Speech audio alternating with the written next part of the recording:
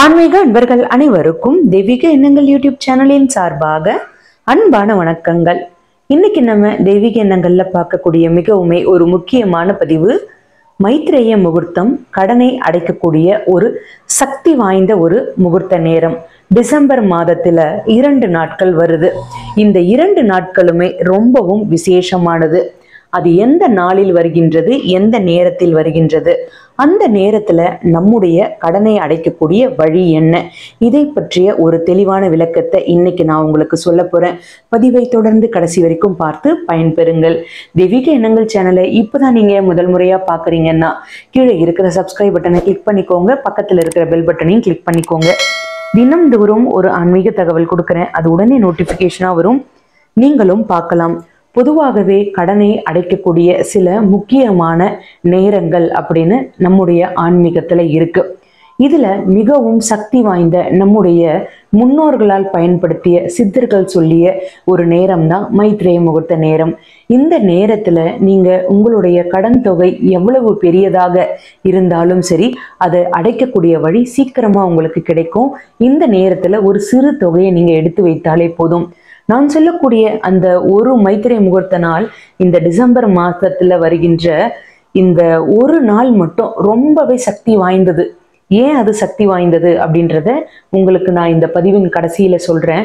இப்பொழுது என்ன பண்ணணும் அப்படின்றத ஒவ்வொன்றாக செய்முறை விளக்கத்தோட பார்த்துடலாம். பொதுவாகவே மாதம் தோறும் மைத்ரே முகூர்த்த நேரம் வரும். ஒவ்வொரு மாதமுமே இந்த மைத்ரே முகூர்த்த நேரம் இருக்கு. கடனை அடைக்கக்கூடிய நிறைய வழிகள் இதன் மூலமாக நமக்கு இருக்கு. சரி இந்த நேரத்துல என்ன பண்ணணும் அப்படின்னா நீங்க வீட்டில் இருந்தாலும் சரி வேலை செய்யற இடத்துல இருந்தாலும் சரி வியாபார இடத்துல இருந்தாலும் சரி இந்த நேரத்துல நீங்க இதை தவறாமல் செய்யுங்க. நான் சொல்லுகின்ற நேரமும் அந்த நாளையும் குறித்து வைத்துக்கோங்க. முக்கியமா அந்த நாள் கிட்ட நெருங்கும் பொழுது அதற்கு முன்கூட்டியே நான் ஒரு பதிவும் கொடுப்பேன். உங்களுக்கு ஞாபகப்படுத்தும் விதமாக என்ன பண்ணணும் அப்படின்றத இப்பொழுது பார்த்துடலாம். நீங்க என்ன பண்ணுங்க? ஒரு மொய் கவர் எடுத்துக்கோங்க. இல்ல பாலித்தீன் கவர் எடுத்துக்கோங்க. இரண்டுமே இல்லை அப்படின்னா ஒரு துணி எடுத்துக்கோங்க. அந்த துணியில இல்ல கவர்ல என்ன பண்ணுங்க? இந்த பரிகாரத்திற்கு தேவையான இலை பிரியாணி இலை. நிறைய பேர் பிரியாணி இலையை பயன்படுத்தி அவர்களுடைய வேலையை சீக்கிரமா முடிச்சிருக்காங்க. அதுல சீக்கிரமா வந்து நம்முடைய கடனும் சீக்கிரம் முடியணும் அப்படின்னு பிரார்த்தனை பண்ணிக்கிட்டு பிரியாணி இலையில கடன் தீர வேண்டும்னு எழுதிக்கோங்க. நிறைய தாந்திரிக பரிகாரங்களுக்கு பயன்படுத்தக்கூடிய ஒரு உன்னதமான இலை பிரியாணி இலை தாங்க இது நம்ம சமையலறையில பயன்படுத்துவோம். இதற்கு ஆன்மீக ரீதியாகவும் சரி தாந்திரிக பரிகாரங்கள் செய்வதற்கும் சரி நிறைய சக்திகள் இருக்கு. அதனால இந்த இலையை பயன்படுத்துறோம். நீங்கள் நகைக்கடன் எடுத்திருந்தாலும் சரி இல்லை வீட்டுக்கடன் எடுத்திருந்தாலும் சரி எதுவாக இருந்தாலும் சரி அதை மனதில் நினைத்து கொண்டு இந்த பிரியாணி இலையில எழுதிக்கோங்க. கடன் சீக்கிரமாக தீரணும். உங்களுடைய மொழியில் நீங்கள் எழுதிக்கோங்க. இங்கிலீஷில் எழுதலாம் தமிழில் எழுதலாம் எந்த தவறும் கிடையாது. எவ்வளவு தொகையோ அந்த தொகையும் முடிந்தால் எழுதிக்கோங்க. இப்பொழுது இதனுடன் சேர்த்து ஒரு சில ரூபாய் நோட்டுகள் அது பத்து ரூபாயோ இருபதோ நூறு ரூபாயோ அந்த நேரத்துல இந்த பிரியாணி இலையுடன் சேர்த்து அந்த கவர்ல அந்த அமௌண்ட்டையும் நீங்கள் வச்சிருங்க. இப்படி நீங்க வைக்கும் பொழுது அதனுடன் சேர்த்து ரொம்பவும் சக்தி வாய்ந்த ஒரு பொருள் பார்த்தீங்கன்னா மங்களகரமான பொருள் மகாலட்சுமிக்கு உரிய ஒரு பொருள் பணத்தை ஈர்க்கக்கூடிய ஒரு பொருள் இதுனா பச்சை கற்பூரம். இது எல்லா கடைகள்லையும் விற்கும் இதனுடைய ஒரு சிறு அளவு வந்து பார்த்தீங்கன்னா காசு ரொம்பவும் கம்மி தான் அதை வாங்கி இந்த கவரோட சேர்த்து நீங்க வச்சிருங்க. இது பணத்தை ஈர்க்கும். அதாவது இதுலேருந்து வருகின்ற அந்த வாசம் வந்து பார்த்திங்கன்னா ரொம்பவே பணத்தை ஈர்க்கக்கூடிய சக்தி அதிகமாக இருக்கும். இந்த பச்சை கற்பூரத்துடன் சேர்த்து ஏலக்காயோ ஜவ்வாதோ ரொம்பவும் வாசனையான பொருட்கள் எதுவாக இருந்தாலும் சரி அதில் நீங்கள் வைக்கலாம். உங்களுக்கு எவ்வளவு பெரிய கடன் தொகை இருந்தாலும் சரி இதே வழிமுறையை பின்பற்றுங்க. எவ்வளவு கடன் இருந்தாலும் ஒவ்வொரு கடனுக்கும் இதே மாதிரி எழுதி அதற்குண்டான அமௌண்ட்டை போட்டுக்கோங்க. ஏமா ஒன்றா சேர்த்து எழுதக்கூடாது அப்படின்னு நிறைய பேர் எனக்கு கமெண்ட்ல கேட்குறீங்க நீங்கள் ஒவ்வொரு கடனையும் ஒவ்வொரு நேரத்தில் அடைச்சிருவீங்க.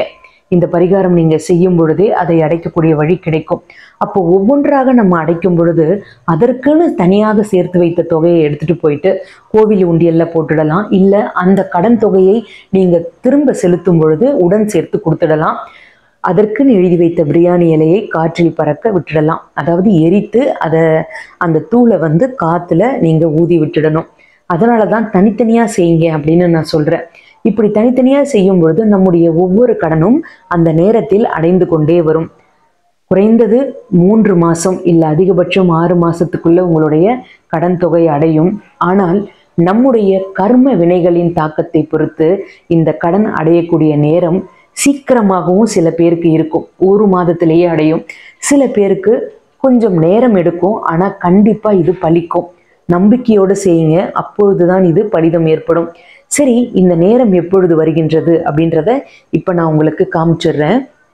டிசம்பர் பன்னிரெண்டாம் தேதி அதாவது டிசம்பர் பன்னிரெண்டு இரண்டாயிரத்தி இருபத்தி மூணு அதிகாலையில் வருது. அதாவது நாலு மணி முப்பத்தி மூணு நிமிடத்திலிருந்து ஆறு மணி நாற்பத்தி நாலு நிமிடம் வரைக்கும் இருக்கு. அதிகாலையில் இருக்கு. அடுத்தது இன்னொரு ஒரு நேரம் என்னன்னு பார்த்தீங்கன்னா டிசம்பர் இருபத்தி ரெண்டாம் தேதி மத்திய நேரத்தில் வருகின்றது. அதாவது ஒரு மணி இருபத்தெட்டு நிமிடத்திலிருந்து மூன்று மணி பதினைந்து நிமிடம் வரைக்கும் இந்த மைத்திரிய முகூர்த்த நேரம் இருக்கு. சரி இதுல ஒரு சக்தி வாய்ந்த ஒரு விஷயம் ஒரு மைத்திரை முகூர்த்தம் மட்டும் இந்த வருடத்தின் ரொம்பவே சக்தி வாய்ந்ததுன்னு நான் சொல்லியிருக்கேன். அது என்னன்னு பார்த்தீங்கன்னா அமாவாசை திதியோட சேர்ந்து வருகின்றது இந்த மைத்திரேய முகூர்த்தம். அதாவது முதல் மைத்திரேய முகூர்த்தமாக வருவது பனிரெண்டு பனிரெண்டு. இந்த பனிரெண்டு பன்னிரெண்டு நாளே அது விசேஷமானது தேவதை எண் இந்த எண்ணோட சேர்த்து மைத்திரேய முகூர்த்தம் வருவது இன்னொரு ஒரு விசேஷம். தவறாமல் பயன்படுத்தி கொள்ளுங்க. வருடத்திற்கு ஒரு முறை மட்டும்தான் இந்த மைத்திரேய முகூர்த்த நேரம் வரும். யாரும் இதை தவற விட்டுடாதீங்க. நம்ம தேவதை எண் வரக்கூடிய நாட்கள்லையும் மாதங்கள்லையும் என்ன வேண்டுதல் வைத்தாலும் அது பலிக்கும். அதனுடன் சேர்த்து மைத்திரை முகூர்த்த நேரமும் வருது. அதனால தவறாமல் இதை பயன்படுத்தி கொள்ளுங்கள். ரொம்ப ரொம்ப அதிசக்தி வாய்ந்த கடனை அடைக்கக்கூடிய ஒரு உன்னதமான ஒரு நாள். வருடத்திற்கு ஒரு முறை மட்டுமே வரக்கூடிய ஒரு நாள். அதனால இந்த நாள் ரொம்பவும் விசேஷம். அந்த நாள் வரும்பொழுது அதற்கு முன்கூட்டியவும் நான் உங்களுக்கு பதிவு கொடுப்பேன். தவறாமல் இதை பயன்படுத்தி கொள்ளுங்கள். மாதம் மாதம் மைத்திரை முகூர்த்த நேரம் வரும். நான் உங்களுக்கு பதிவு கொடுத்துக்கிட்டே இருப்பேன். நீங்க தவறாமல் இந்த மாதிரி நீங்க பின்பற்றலாம்.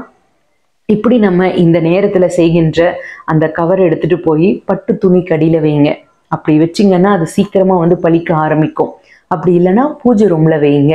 இப்படி நீங்கள் செய்யுங்க. அடுத்த மாதமும் மைத்திரை முகூர்த்த நேரம் வரும்பொழுது நான் பதிவு கொடுப்பேன். அப்பொழுது இந்த கவர் எடுத்து மீண்டும் இதிலேயே கடன் தீர வேண்டும்னு ஒரே இலையை பயன்படுத்திக்கோங்க. இலை கிழியும் போது மட்டும் அதை அப்படியே வச்சுக்கோங்க. இன்னொரு இலை எடுத்து எழுதிக்கோங்க. கடனை அடைக்கும் பொழுது இந்த இலைகள் எல்லாமே சேர்த்து நீங்கள் எரிச்சிடலாம். எல்லோருக்கும் இது பயன் கொடுத்த ஒரு நல்ல உன்னதமான ஒரு கடனை அடைக்கக்கூடிய முகூர்த்த நேரம். தவற விட்டுடாதீங்க. நம்பிக்கை இருக்கோ இல்லையோ உங்களுக்கு அதிகமாக இதனால் செலவு ஆக போகிறதில்ல அதனால் எல்லோரும் இதை பயன்படுத்தி கொள்ளுங்கள். உங்களுடைய நண்பர்களுக்கும் இந்த விஷயத்தை பற்றி சொல்லுங்க. அம்மா பிள்ளைகளுக்காக செய்யலாம் அப்பாவும் செய்யலாம். இந்த மாதிரி யார் யாருக்கு வேணாலும் செய்யலாம். ஆனால் அவர்களுடைய கடனை அடையணும்னு நீங்கள் மனசுல பிரார்த்தனை பண்ணிக்கிட்டு உங்களுடைய குலதெய்வத்தையும் வேண்டிக்கிட்டு மகாலட்சுமி தாயாரையும் வேண்டிக்கிட்டு பண்ணுங்க. கண்டிப்பாக உங்களுக்கு கடனை அடையக்கூடிய வழி இதன் மூலமாக கிடைக்கும். இன்னைக்கு நான் கொடுத்த இந்த பதிவு உங்களுக்கு பயனுள்ளதாக இருக்கும்னு நான் நினைக்கிறேன். அனைவருடைய வாழ்க்கையிலேயும் கடன் இல்லாத வாழ்க்கையை வாழ்வீர்கள். வாழ்க வளமுடன். இந்த பதிவு பிடிச்சிருந்தா லைக் பண்ணிக்கோங்க. உங்களுடைய நண்பர்களுக்கும் உறவினர்களுக்கும் ஷேர் பண்ணுங்க. அவர்களும் இதன் மூலமாக பயன்பெறட்டும் தெய்வீக எண்ணங்களில் இதே மாதிரி நிறைய ஆன்மீக தகவல்கள்லாம் இருக்கு. தவறாமல் பாருங்க. இன்னும் நீங்க தெய்வீக எண்ணங்கள் சேனலை சப்ஸ்கிரைப் பண்ணாமல் இருக்கீங்கன்னா கீழே சப்ஸ்கிரைப் பட்டன் இருக்கு. சப்ஸ்கிரைப் பண்ணிக்கோங்க. பக்கத்திலே பெல் பட்டன் இருக்கு. தினமும் நான் கொடுக்கக்கூடிய ஆன்மீக தகவல் உடனே நோட்டிஃபிகேஷனாக வரும். நீங்களும் பார்க்கலாம். மீண்டும் நாளை ஒரு நல்ல ஆன்மீக தகவலோடு நான் உங்களை சந்திக்கின்றேன். நன்றி. வணக்கம்.